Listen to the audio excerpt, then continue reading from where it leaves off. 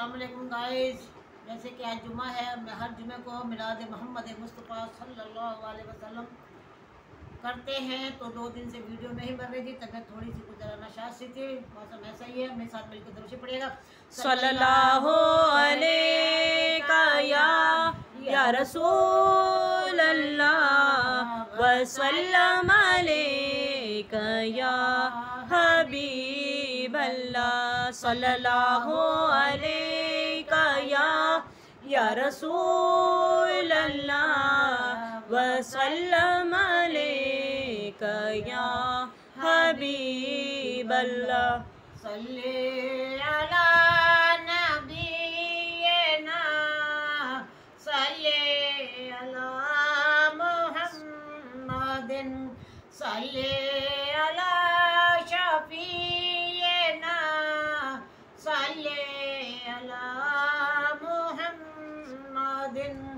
मेरी धड़कने तेरी तस्बीह करे। साँसें मेरी तेरे कल में पड़े। नस नस में है ये बिरद, तेरा सल्ले अला। नबी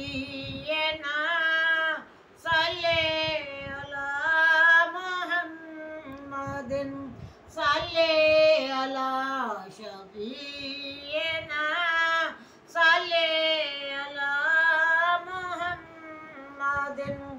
पलकों से रोज़े पे झाड़ू करूँ। तेरा नाम लब पे हो जब मैं मरूं।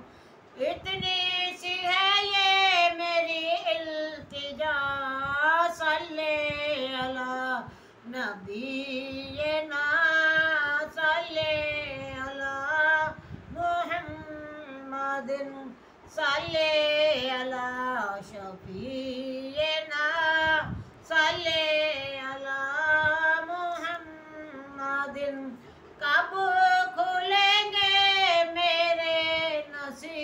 नसीब मौत भी आका आ गई करीब।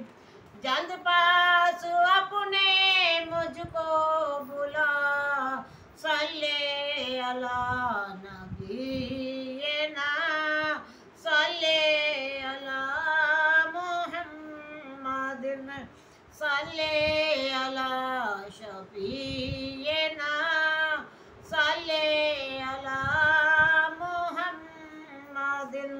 तेरे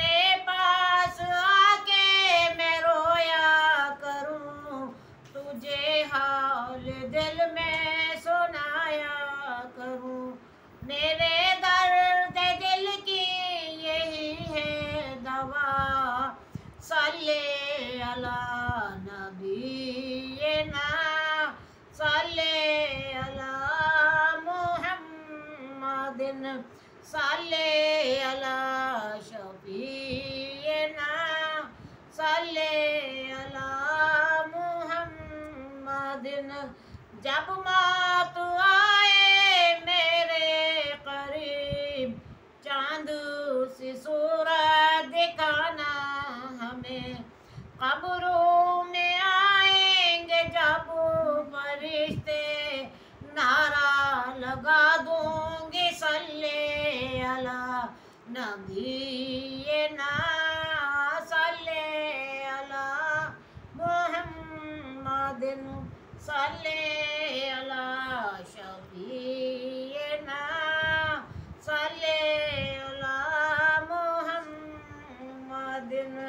सल्लल्लाहु अलैका या या रसूल अल्लाह वसल्लम अलैका या हबीब अल्लाह सल्लल्लाहु अलैका या या रसूल अल्लाह वसल्लम अलैका या हबीब अल्लाह यानी कि एक मस्जिद की दीवार पर लिखा हुआ था बड़े खूबसूरत अल्फाज में, अगर तुम गुनाहों से थक गए हो तो अंदर आ जाओ, यानी कहा मस्जिद में अंदर आ जाओ।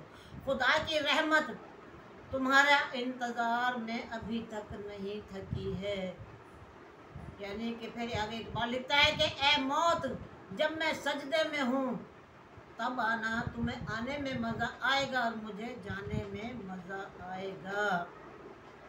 अजान की आवाज़ पर एक भी दुकान बंद नहीं होती, ना ही अपने हम घर के काम बंद करते हैं। जब अजान होती है तो कोई चीज़ बंद नहीं करते और एक गोली की आवाज़ पर पूरा बाज़ार बंद हो जाता है। मौत का डर है, लेकिन जिसके हाथ में मौत है, उस खुदा का डर हमें क्यों नहीं होता? अल्लाह अल्लाह। मौत के फरिश्ते से नबी पाक सल्लल्लाहु अलैहि वसल्लम ने पूछा कि जब जान निकालते हो तो तकलीफ़ होती है? क्या? जब जान निकालते हो? इसराइल से पूछा, नबी पाक सल्लल्लाहु अलैहि वसल्लम ने। तो फरिश्ते ने कहा कि जी या रसूलुल्लाह सल्लल्लाहु अलैहि वसल्लम, तकलीफ़ बहुत होती है। तो नबी पाक सल्लल्लाहु अलैहि वसल्लम ने फरमाया कि सारी तकलीफ़ फिर मुझे दे दो मेरी उम्मत को मत दो। मत देना। अल्लाह अल्लाह सुबहान अल्लाह फिर नबी पाक सल्लल्लाहु अलैहि वसल्लम ने फरमाया कि कभी जो मैं सोचता हूँ तो कप कपा जाता हूँ। क्या करता हूँ? कप कपा जाता हूँ। सारी तकलीफ़ मुझे दे दे और मेरी उम्मत को किसी भी फर्द को तकलीफ़ ना देना। ऐसा भी कोई प्यार करने वाला नबी मिलेगा? क्यों? कि नबी पाक सल्लल्लाहु अलैहि वसल्लम ने फरमाया कि ए मेरे उम्मती, तेरे पाँव में अगर कांटा भी चुभता है, कांटा तो मुझे तकलीफ़ महसूस होती है। ये शफक़त और ये है प्यार नबी पाक सल्लल्लाहु अलैहि वसल्लम की मोहब्बत में। और आज हम उनकी मोहब्बत में, उनको तो इतनी मोहब्बत है कि उठते और बैठते, चलते और फिरते महराज पे। गारे हीरा में जहाँ भी आप गया आपने अपनी उम्मत की फ़िक्र की और कहा कि मेरी उम्मत तेरे पाँव में अगर कांटा भी चुपता है तो तकलीफ़ मुझे होती है। तो आज अगर कोई बेहरमत कुरान पाक की करता है तो हमारे मुँह से आवाज़ नहीं निकलती जो मुस्ताकी रसूल हैं तो हम घरों से बाहर नहीं निकलते। क्यों? क्या हमारे ईमान में कमी आ चुकी है? एक के पीछे तो हमारे यानी के जाने कितने करोड़ पाकिस्तानी और मुसलमान निकल जाते हैं। निकलते हैं कि नहीं निकलते? अरे वो नबी जो मोहम्मद मुस्तफ़ा सल्लल्लाहु अलैहि वसल्लम जिन्होंने शहादत की उंगली से कहना है कि ये भी उम्मती है, ये भी उम्मती, जिनके सर पे शफात का सेरा बंधा हुआ है तो फिर हम दरूद और सलाम से क्यों दूर हैं? नमाजों की तरफ़ आ जाएँ, ऐसा ना हो कि फिर हमारे नमाज़ जनाजा के लिए ऐलान हो जाए। और वो जो है, कब्र तो सबको देखनी है। वो अदालत का कमरा बड़ा सख्त है। अब दरूद शरीफ पढ़िए सल्लल्लाहु अलैका या या रसूल अल्लाह वसल्लम अलैका या हबीब अल्लाह यानी कि जब हम लोग सजदा करते हैं क्या? तुम सजदा ज़मीन पर करते हो और तुम्हारी सदाएँ साथ में आसमान पर रब्बे कायनात सुन लेता है। तो फिर उसको क्यों नहीं सुनाते। बीमारी है, तकलीफ़ है, दुख है, जो भी कुछ है, उसको सुनाएँ। दरबार रिसालत में पेश करें। दरूद पढ़ें, सलाम पढ़ें आका पर उनकी, आल पर उनकी औलाद पर कि जिन्होंने कुर्बानी अपने बच्चों की दे दी है। उम्मत के खातिर सल्लल्लाहु अलैका या रसूल अल्लाह वसल्लम अलैका या। हबीब अल्लाह किस्मत में मेरी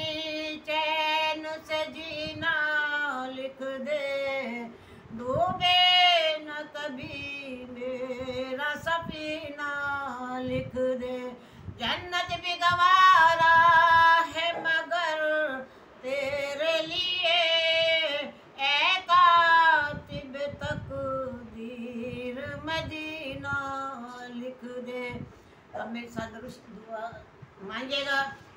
या इलाहुल आलमीन तेरे ज़िक्र महबूब के ज़िक्र खैर की बरकत से उनकी आल औलाद के सदके से पंतन पाक साहबा इकराम बहत्तर शौगान करबला के सदके से उम्मत मुसलमान के सदके से या जो बे औलाद हैं उन्हें औलाद अता अल्लाह जो बीमार हैं उनको सेहत कामला अता। या अल्लाह जो परेशान हाल है उनकी परेशानियों को दूर फरमा। या इलाहुल आलमीन जो घर से बेघर हैं उनको घर अता फरमा। अल्लाहुम्मा या अल्लाह जो जवान बच्चियाँ अपने माँ बाप के घर पे बैठी हैं उनको नेक और साले रिश्ते अता। अल्लाहुम्मा या इलाहुल आलमीन जो नहा कैद के अंदर है उनको कैद से यही अता फरमा अल्लाहुम्मा या अल्लाह आमीन। तेरे हबीब के सदके से पंतर पाक साहब इकराम तमाम शहदा ने करबला के सदके से उम्मत मुस्लिम उम्मत मोहम्मदी के सदके से या अल्लाह हमें पंज वक्त नमाजी बना दे या अल्लाह हमें सिरात मुस्तकीम पर चलने की तौफीक अता फरमा दे। या इलाहुल आलमीन पक्का और सच्चा मुसलमान आमीन। या अल्लाह हम सब के गुनाह कबीरा और सगीरा माफ़ अता फरमा। या अल्लाह जो गुनाह जान के जो अनजाने में है उनको भी माफ़ अता फरमा। अल्लाहुम्मा आमीन। जब तेरा वादा वक्त आ जाए तो हम सब की जबान पे हो ला इलाहा इलाहा इल्लल्लाहु इल्लल्लाहु मुहम्मदुर रसूलुल्लाह सल्लल्लाहु अलैहि वसल्लम। ठीक है गाइस चैनल को लाइक कीजिएगा शेयर कीजिएगा बेल आइकन के बटन को लाजमी दबाइएगा और वीडियो को आगे से आगे पहुँचाएँ ठीक है? वीडियो को आगे से आगे ना शेयर करते हैं ना कमेंट करते हैं कुछ भी नहीं करते क्योंकि ये भी एक सवाब का काम है या नहीं है? जितना पढ़ने वाले को होता है, उससे ज़्यादा तो आगे भेजने वालों को, सुनने वालों को भी होता है, थोड़ा सा टाइम निकाले। खुदा